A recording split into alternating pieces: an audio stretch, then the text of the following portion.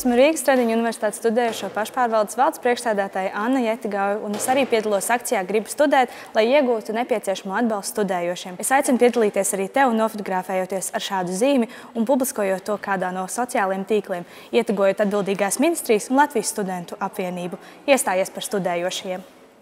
Es esmu Rīgas Stradiņu universitātes rektors, profesors Aigars Petersons. Es atbalstu Rīgas Stradiņa universitātes studentu piedalīšanos Latvijas studentu apvienības izsludinātajā akcijā Gribu studēt.